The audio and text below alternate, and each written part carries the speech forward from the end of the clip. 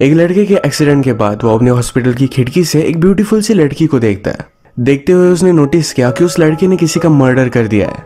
कहानी में ट्विस्ट तब आता है जब एक स्ट्रेंजर का उसे मैसेज आने लग जाता है। उसे उस मर्डर के बारे में सब कुछ पता था। अब आगे क्या होगा? ये इस मूवी की मिस्ट्री है। हेलो फ्रेंड्स आज मैं आपको 2017 की एज ऑफ़ इनोसेंस ये मिस्ट्री थ्रिलर मूवी एक्सप्लेन करने वाला हूँ। इसमें अलग अलग ट्विस्ट एंड टर्न्स आते हैं तो अंत तक इस वीडियो को ज़रूर देखिएगा। बिना किसी देरी के एक्सप्लेनेशन स्टार्ट करते हैं। मूवी स्टार्ट होती है और हम हमारे मेन कैरेक्टर कैंग से इंट्रोड्यूस होते हैं। कैंग 19 ईयर्स का है। उसे अपनी बाइक पर अलग अलग प्लेसेस पर जाना अच्छा लगता है। उसका मानना है, हमें लाइफ में जो भी चीज़ करनी है, जो भी चीज़ चाहिए, वो जल्दी से कर लेनी चाहिए। बाद में हमें पछताना ना पड़े। आज भी वो कहीं जा रहा था, तभी अचानक से आगे की गाड़ी से एक टायर नीचे गिरा। ये कैंग की गाड़ी पर आ रहा था तो इस वजह से उसका बैलेंस चला गया। नीचे गिरकर उसका एक्सीडेंट हो जाता है। इसके बारे में अपने पेरेंट्स को बताकर वरी करवाना नहीं चाहता था तो अपने फ्रेंड्स को उसने कॉल किया। उसके फ्रेंड्स उसे हॉस्पिटल में एडमिट कर कर उसका बहुत ख्याल रखते हैं। इन फ्रेंड्स में एक लड़की है जिसका नाम है जूली, पर हम इसे जूली बुलाएँगे, क्योंकि ये सारे नाम कॉम्प्लिकेटेड ना हो जाए। जूली के साथ उसका फ्रेंड भी था जिसका नाम था जाओ। उसके फ्रेंड ने उसे कहा कि तुम्हें इस तरीके से इतना ज़्यादा घूमना नहीं चाहिए। वो उन्हें भी वही बात बताता है कि लाइफ में मैं कुछ भी रिग्रेट नहीं करना चाहता। उसके बेड के पास और एक पेशेंट था इस ओल्ड मैन को डायबिटीज़ बीपी है। वो हमेशा हॉस्पिटल में रहता है। उन्हें मेडिसिन देने के लिए एक नर्स आई और ये ओल्ड मैन उस पर भी लाइन मार रहा था। नेक्स्ट सीन में हम देखते हैं कि जूली कैंग के पास आई हुई थी। एक्चुअल में उसे बहुत लाइक करती है, पर कैंग को इसके बारे में पता नहीं जूली ने उसे कहा कि तुम्हें थैंकफुल होना चाहिए कि एक मेडिकल स्टूडेंट तुम्हारी फ्रेंड है। कैंग ने उसे कहा, तुम्हारी इयरिंग बहुत ही ब्यूटीफुल लग रही है। ये सुनकर जूली को बहुत अच्छा लगता है। आजकल कैंग इस हॉस्पिटल में बहुत ज़्यादा बोर हो रहा था।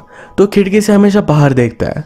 सामने एक बड़ा सा घर था। उसमें उसने देखा तो एक बहुत ही ब्यूटीफुल सी लड़की थी। ये हमारी और एक मेन कैरेक्टर है। उसका नाम है जिया।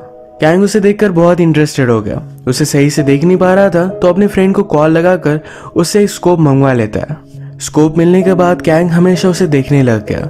वो वंडर करता है कि उसका आवाज़ कैसा है, उसका नेचर कैसा है।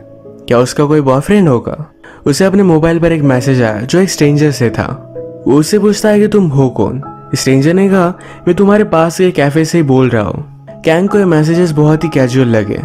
एक दिन जब वो घर पर नज़र रख रहा था तो उसने नोटिस किया कि एक आदमी घर के बाहर से अंदर देखता है। वो उन पर स्पाई कर कर वहाँ से चला गया था। घर के पास जो कैफ़े है, यही पर आदमी काम करता है। फिर से रात में कैंग जिया के घर पर देख रहा था तो वो नोटिस करता है कि उसके मदर और फादर में फाइट चल रही थी। इस फाइट में फादर ने मदर को नीचे गिरा दिया। इसके बाद मदर और जिया ये उसके रूम में गए। ये कुछ डिस्कस कर रहे थे। जिया फिर फिर से अपने फादर के पास आई उसके पास एक शार्प ऑब्जेक्ट था। वो अपने फादर को मारने वाली थी। तभी उस ओल्ड मैन ने कैंग से उसका स्कोप ले लिया। कैंग क्या देख रहा है? वो भी देखना चाहता था। कैंग जिया को प्रोटेक्ट करने के लिए उस ओल्ड मैन से स्कोप ले लेता है। इन दोनों में थोड़ा सा झगड़ा हो गया था। जब उसने फिर से स्कोप से देखा तो जिया के फादर नीचे गिरे थे। उनका बहुत सारा खून बह चुका था। जिया और उसकी मदर ये ब्लड को साफ़ कर रहे थे। ये देखकर कैंग को बहुत ही शौक लगता है। अगले दिन उसने और भी नज़र रखी। फिर से कॉफ़ी शॉप वाला आदमी घर के बाहर आया था। कैंग के पास उसके नर्स उसका चेकअप करने के लिए आई। वो कहती है, तुम आगे के घर पर नज़र रख रहे थे। ओल्ड मैन ने मुझे बताया। मैं समझ सकती हूँ, आगे के घर में जो लड़की रहती है, वो बहुत ही ब्यूटीफुल है। नर्स के जाने के बाद कैंग ने फिर से नज़र रखी। जिस कारपेट पर ब्लड पड़ा था, उस कारपेट को धोने के लिए भेजा जाता है। रात में कैंग को अपनी इंजुरीज की वजह से जरा पेन होने लग जाता है। उसने नर्स को बुलाया, पर नर्स आसपास नहीं थी तो खुद चलकर उसे ढूँढने लग जाता है। उसने एक रूम में देखा कि नर्स किसी के साथ इंटीमेट हो रही है। ये वही आदमी है जो नीचे का कॉफ़ी शॉप चलाता है। कैंग को ठीक लगने के बाद रात में फिर से उसने जिया के घर पर देखा। जिया एक बैग घसीटते घसीटते लेकर जा रही थी। घर के पास के कंस्ट्रक्शन साइट में उसने इस बैग को गाड़ दिया। अगले दिन कैंग के फ्रेंड उसे मिलने के लिए आए हुए थे। उनसे कहता है, मुझे जरा बाहर घूमने के लिए जाना है। वो कंस्ट्रक्शन साइट पर आया और देख लेता है कि जिया ने जिस बैग को काटा था, वो सेफ़ है या नहीं। ऑर्डर देते हुए कैफ़े ओनर से उसने बात की। उसने जिया के बारे में उससे पूछा। वो कहता है, क्या तुम उस घर के लोगों को जानते हो? मैंने सुना कि उनके घर में बहुत सारे झगड़े चलते हैं। कैफ़े ओनर कहता है कि मुझे इसके बारे में कुछ भी पता नहीं है। कैंग जब फिर से हॉस्पिटल में आया तो नर्स उसे कहती है, तुम्हारा रूम हम चेंज कर रहे हैं। कैंग बहुत ज़्यादा गुस्सा हो जाता है, वो कहता है, मुझे इसी रूम में रहना है। अगर तुमने मुझे यहाँ रहने नहीं दिया तो तुम्हारे और तुम्हारे बॉयफ्रेंड के बारे में मैं हॉस्पिटल के मैनेजमेंट को बता दूँगा। नर्स मान नहीं रही थी। कैंग कहता है कि अगर मैं उस रूम में नहीं रह सकता तो मुझे हॉस्पिटल में रहना ही नहीं है। वो फिर वहाँ से डिस्चार्ज ले लेता है और घर पर ही आराम करता है। घर पर भी जूली उसका ख्याल रख रही थी। घर पर उसे एक मेल मिलता है, जिसमें लिखा है कि मुझे पता है कि तुम क्या कर रहे हो। तुम डेंजर में हो। कैन जिया को बहुत लाइक करता है। मर्डर के बावजूद उसे प्रोटेक्ट करना चाहता है। अब इसके बाद थोड़े दिन बीत गए कैंग का प्लास्टर निकल चुका है। वो फिर डायरेक्टली जिया के घर के बाहर ही आता है। जिया आज अपने वर्क के लिए जरा लेट हो चुकी थी तो उसे उसके घर का सिक्योरिटी कार्ड नीचे गिर गया। ये कैंग ने देखा और ये लेकर वो घर के अंदर घुस गया। घर में सारी चीज़ें देखते हुए वो जिया के रूम में आया। उसके रूम में मैप लगा था, जिस जगह पर वो जाना चाहती है, इसमें सारी जगह पर पॉइंट कर कर रखा है। कैंग इमेजिन करता है कैंग चाहता था कि जिया जिस भी प्लेस पर जाए, वहाँ से उसे पोस्ट कार्ड भेजे। देखते देखते ही जिया फिर से घर में वापस आ गए। वो और उसकी मदर एक दूसरे के साथ झगड़ रहे थे। जिया बता रही थी कि मुझे इस तरीके की लाइफ नहीं जीनी, पर उसकी मदर उसे फोर्स करती है। अगले दिन कैंग फिर से जिया का पीछा करता है। वो कैफ़े में गई और कैफ़े ओनर के पास रो रही थी। इसके बाद वो जहाँ भी जाती है उसका पीछा करता है। पीछा करते करते कैंग को फिर से स्ट्रेंजर से मैसेज आया। इसमें लिखा था, मुझे पता है कि तुम क्या कर रहे हो। कैंग की जिया पर नज़र रखते हुए फ़ोटो उसने निकाली हुई थी। कैंग वंडर करता है कि हो कौन सकता है। वो सब पर शक करने लग गया था। इसके बाद वो जिया का पीछा करते हुए, जहाँ पर वो काम करती, वहाँ पर पहुँच गया। उसने नोटिस किया इस ऑफ़िस में वैकेंसीज है वो हमेशा जिया के पास ही रहना चाहता है। उसे और भी जान लेना चाहता है। तो इसी वजह से यहाँ पर अप्लाई कर देता है। जॉब मिलने के बाद स्ट्रीट पर जाकर अलग अलग लोगों के सर्वे लेने का उसका काम था। ये सबमिट करने के लिए जिया के पास आया। जिया कहती कि तुमने बहुत ही कम सर्वेज लाए। तो अब क्या था? कैंग अगले दिन बहुत मेहनत करता है। उसने बहुत सारे सर्वेज लाए। ये काम करते करते जिया के घर के कारपेट की वॉशिंग जिस जगह पर हुई थी, वो जगह उसने देखी। यहाँ पर वो इंक्वायरी करने वाला था, तभी उसका फ्रेंड उसे मिल जाता है। कैंग कहता है कि जूली को भी बुला लो। कैफ़े में कैंग ने देखा कि उसके हॉस्पिटल की नर्स कैफ़े ओनर और उसके फ्रेंड्स भी थे। वो इन्हीं सब पर शक कर रहा था। उसने फिर स्ट्रेंजर को मैसेज किया कि तुम ये सब कर क्यों रहे हो? स्ट्रेंजर का रिप्लाई आया कि मैं तुम्हें हेल्प करना चाहता हूँ। ये रिप्लाई आने के बाद कैंग सबके फ़ोन कहा है, ये देख रहा था। बाकी लोग काम कर रहे थे और उसके फ्रेंड्स के फ़ोन ये टेबल पर थे। इसका मतलब है स्ट्रेंजर इनमें से कोई भी हो नहीं सकता। अगले दिन कैंग अपने काम पर स्टेज के पास बैठा हुआ था। कंपनी के कुछ ऑफिसर डिस्कस कर रहे थे कि जिया के फादर आजकल कंपनी में आ नहीं रहे। कंपनी के नाम पर उन पर बहुत बड़ा लोन है। अब इसका क्या होगा? ये सब सुनने के बाद कैंग जिया के पास आया। उसे कहता है, आजकल तुम्हारे फादर काम पर क्यों नहीं आ रहे? जिया पूछती कि, तुमने ऐसा क्यों कहा? वो कहता है, कुछ लोग तुम्हारे फादर के बारे में बात कर रहे थे। जिया कहती कि, मेरे बारे में भी बोल रहे होंगे।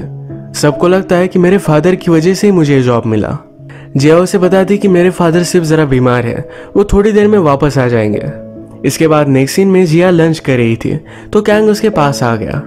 उसे पूछता है, क्या कल रात तुम फ्री हो? उसे एक अच्छे से रेस्टोरेंट में लेकर जाना चाहता है। तभी जिया की मदर वहाँ आ गई थी। बाहर जाकर जिया उससे बात करती है और फिर वो वापस आई। वो कैंग के साथ डेट पर जाने के लिए मान गई थी।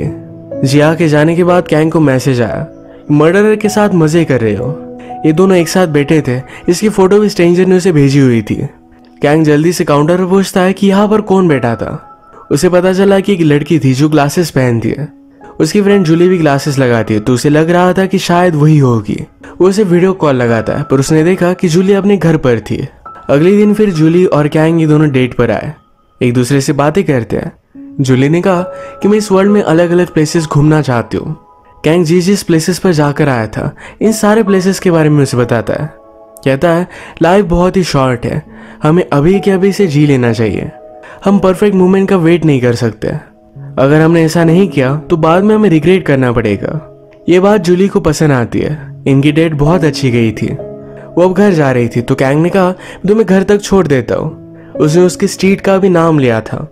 इस पर जूली बहुत ही सस्पिशियस हो गई वो कहती है तुम्हें मेरे बारे में बहुत सारी चीज़ें बताया। मैं कहाँ रहती हूँ? मैंने इसके बारे में तुम्हें नहीं बताया था। कैंग की चोरी पकड़ी गई। उसे ऑनेस्टली सब कुछ बताता है। वो कहता है कि मेरा एक्सीडेंट हुआ था। मैं तुम्हारे घर के सामने के हॉस्पिटल में था। मैं तुम्हें फ़र्स्ट टाइम देखा तो तुम मुझे बहुत अच्छी लगी थी। मैं तुम्हें बहुत ही इंटरेस्टेड हो गया। मुझे जब पता चला कि तुम कहाँ पर काम करते हो तो तुम्हारे पास रह सकूँ, इसलिए मैंने वहीं पर जॉब ले लिया। मैं तुम्हें बहुत लाइक करता हूँ। ये सब सुनकर जूली ने उसे गले लगा लिया। इन दोनों को हक करते हुए जिया के मदर के बॉडी गार्ड्स ने इन्हें देख लिया। वो बहुत ज़्यादा गुस्सा हो गए थे। कैंग को वार्निंग देते हैं कि जिया से जरा दूर रहना। वो कैंग को वार्निंग देते हैं कि जिया से दूर रहना। अगले दिन कैंग जब काम पर गया तो जिया उसे कहीं भी नहीं मिलती। उसका घर भी बंद पड़ा था। इसके बाद वो डायरेक्टली कैफ़े ओनर से आकर बात करता है।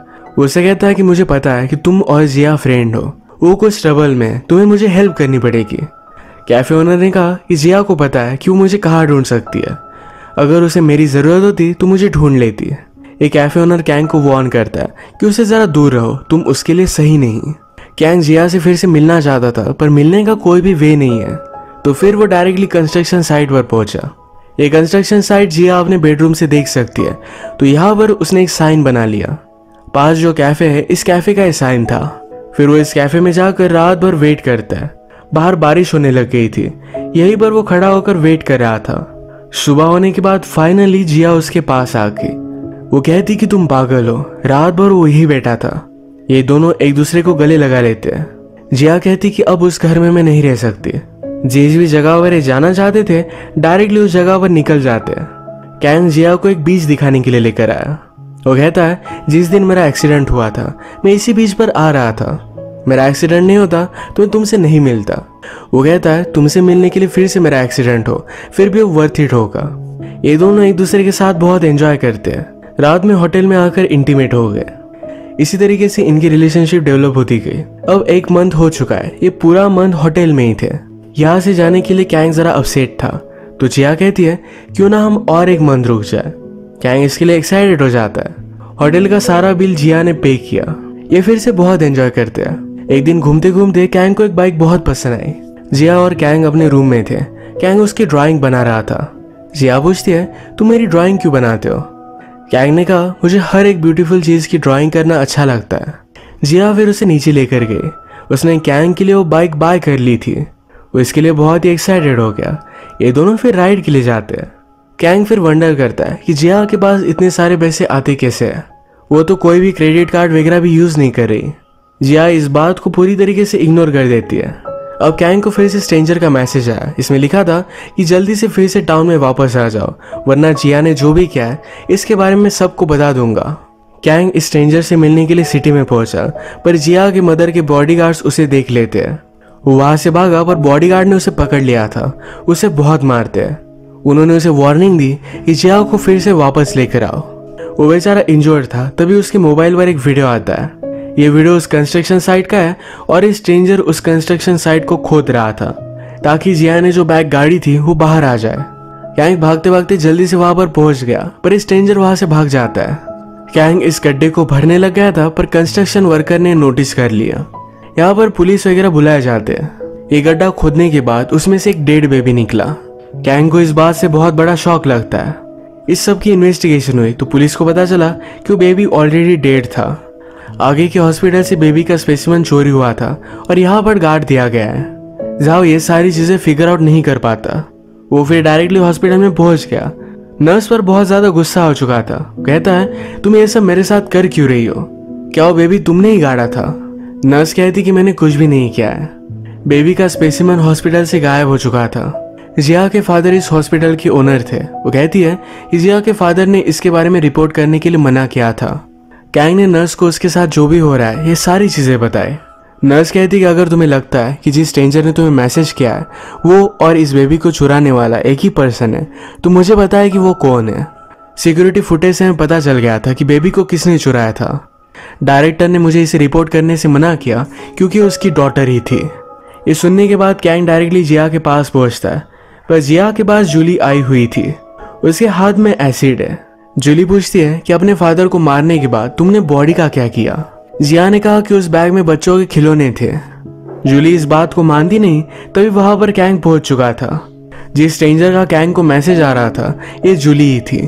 उसे कहती है तुम अपनी आँखों से जो भी देख रहे थे, उस पर बिलीव नहीं कर पा रहे थे। मैं चाहती थी कि जिया के फादर की बॉडी मिलने के बाद तुम्हें पता चल जाए कि जिया एक किलर है। मैं तुमसे प्यार करती हूँ, इसी वजह से सब मैंने किया। कैंग फिगर आउट नहीं कर पाता कि उसने जो भी देखा था, ये जूली को कैसे पता था। जूली कहती है, तुम्हें मैंने जो स्कोप दिया, उसे मैंने एक कैमरा इंस्टॉल कर दिया था। उसके फ़ोन में भी उसने एक ट्रैकर लगा दिया है। जूली भी हमेशा उसका पीछा कर दी थी। हमने मूवी में देखा था कि कैंग को जब शक आया था तो उसने जूली से डायरेक्टली वीडियो कॉल पर बात की थी। इसके एक्सप्लेनेशन में जूली कहती है कि मेरा फ्रेंड ये सब करने में मुझे हेल्प कर रहा था। इनके पास और एक मोबाइल था, इस वजह से कैंग कुछ भी फिगर आउट नहीं कर पाया। जूली का फ्रेंड भी यहाँ पर पहुँच जाता है, उसे समझाने की कोशिश करता है। वो भी उससे बहुत प्यार करता था। कैंग को जूली की फीलिंग्स के बारे में पता नहीं था, इसके लिए वो सॉरी कहता है। जिया भी उसे समझाने की कोशिश करती है। कहती है, तुम बहुत ही लकी हो सेल्फ सफिशियंट हो। तुम्हें मेरी तरह किसी पर भी डिपेंड रहने की ज़रूरत नहीं है। वो कहती है, मैं सिर्फ़ कैंग का फ़ायदा उठा रही थी। मैं मेरी लाइफ से बोर हो चुकी थी तो मुझे कुछ चेंज चाहिए था। जूली और भी ज़्यादा डिस्टर्ब होगी। उसके हाथ में एसिड था, जो अपने आप पर वो डालने वाली थी। जिया जल्दी से उसे इसके हाथ से निकाल लेती है। उसका खुद का हार्ट भी थोड़ा सा बर्न हो गया था। इसके बाद पुलिस को बुलाया गया और जूली उनके साथ चली जाती है। सबके जाने के बाद कैंग जिया से बात करता है। कहता है, तुमने अपने फादर को मार डाला, पर फिर भी मुझे इससे कुछ भी फ़र्क नहीं पड़ता।